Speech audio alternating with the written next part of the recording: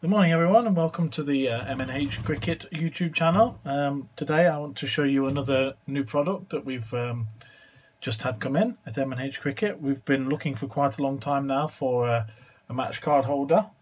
Um, as I'm sure you're aware, uh, our existing match card holder looks like this. It's got a sturdy front cover, several wallets for inserting laws and other information, league rules and bits and bobs. Um, that's our current entry into the uh, match card holder market. But um, our customers have um, been asking for a card holder that fits in the umpire's jacket top pocket. Now, the hardback card holder doesn't fit, unfortunately, it's a little bit wide, but we have managed to find one. So, this is our latest addition to the current range.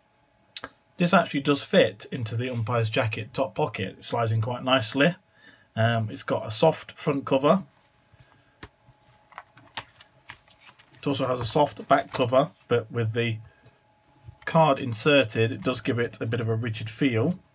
Um, my suggestion would be to place the scorecard on the rigid back cover, attach a small clip,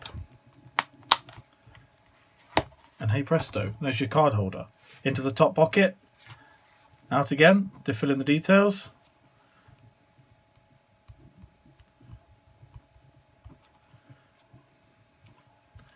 And hey presto, you've got a nice little uh, convenient notebook for making notes about the game.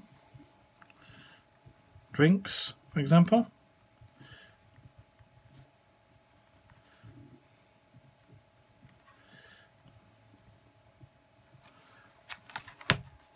And slots nicely in the top pocket. This match card holder can be purchased directly from our website. I'll put a link at the bottom of the video um, at the cost of $19.99 plus £2.50 postage.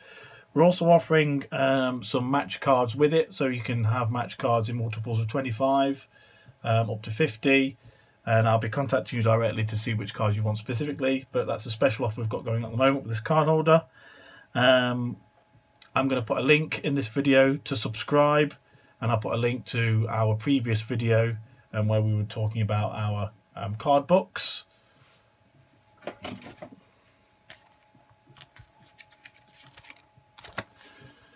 So please subscribe. Um, we'll be doing plenty more of these uh, videos during the current season. We've got lots of things to unveil, lots of exciting things happening at MH, MNH Cricket.